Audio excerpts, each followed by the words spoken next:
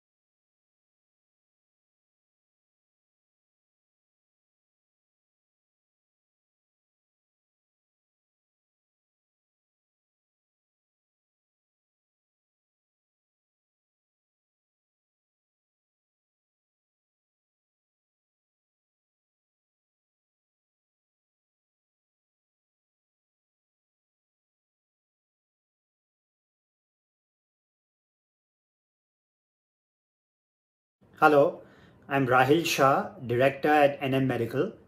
The COVID era has presented a bunch of unprecedented challenges to diagnostic centers and the healthcare industry as a whole. In fact, in our 40 years plus of existence, we can't think of any other time that's been as challenging as the current COVID era. Firstly, from a customer standpoint, we had to implement a number of safety and hygiene measures to instill confidence in both our patients as well as referring clinicians that it was okay to visit a medical facility during this time. No costs and effort was spared to ensure that every safety protocol could be put in place for both our patients as well as our staff so that when one visited the center, there could be no concern of acquiring an infection at any of our diagnostic centers. Um, whether that included putting in safety gear like PPE, uh, sanitizers, gloves, masks, face shields, or investing in best in class cleaning services, professional cleaning services in some departments like CT, CT scan after each and every patient.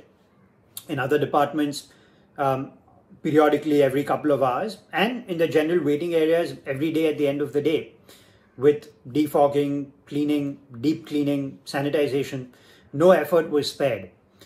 And this was visibly evident to patients who, who visited our facility. So that created a confidence in them that it was okay to visit our diagnostic centers during this time as well. Second, we ensured that there would be a lot of respect for their time when they came to our center. So uh, we moved to a culture of providing tests primarily by appointments. Uh, previously, tests that we would allow on a walk in basis was shifted to an appointment schedule largely. And that ensured that everyone who came in was taken on time uh, uh, and did not have to spend any more time that they needed to than what they needed to in our medical facility. Now, from a staff standpoint, so the biggest concern for us was how do we provide our services if staff can't make it to our, our diagnostic centers? Now, I must say that our staff and doctors have been the real unsung heroes, the COVID warriors during this time. Particularly the ones who were able to convince their families to allow them to come to work, despite all the challenges of lockdown, uh, the fear, um, a, lot of rumor mongering. WhatsApp is a very dangerous tool. Uh, we were able to counter all of that with constant communication to our staff. Top management was available. Uh, HR was available to speak to each and every staff member or family members of, of staff who had concerns. And we created support structures for them, whether it was providing private vehicles for them to get to work and, and drop them back home, giving them letters and special IDs that allowed them to commute to work without any harassment from the from the from the cops, from the local authorities, um, enabling them to travel by train and bus when those options were opened up to healthcare workers, uh, essential service workers. Talking to societies of staff where they stay, where the society members uh, and society chairs were reluctant to allow those staff members to go out to a medical center, counseling them and explaining to them why it was okay for the staff to come. So a lot of effort was put in to ensure that they could come to work in a timely manner and complete their task, whether it was a radiologist performing an ultrasound, an x ray technician taking an x ray, or a lab technician processing blood samples in our laboratory. We were able to ensure that they came to work. Now, when COVID first broke out, um, our lab, our molecular lab, did not have the NABL accreditation required to begin COVID testing. And that's because our molecular lab was started relatively recently, just earlier in the calendar year. So we had to go through an arduous uh, setup process, including uh, an eight-hour online audit with NABL in mid-May to get the permission to begin COVID testing. So after a lot of persistence, a lot of effort from our staff, um, follow up with NABL for them to be convinced that yes, an online audit can be can be done.